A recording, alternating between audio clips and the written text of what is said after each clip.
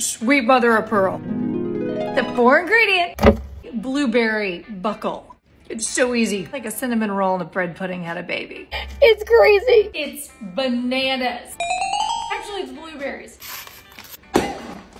That's the trickiest part of this entire dish. Cut the rolls into six pieces and spread. All over the bottom. Top with the blueberries and mix up the cream cheese and brown sugar. Pour it on top and give it a little stir. Mm-hmm. I'm speechless. And you know that takes a lot.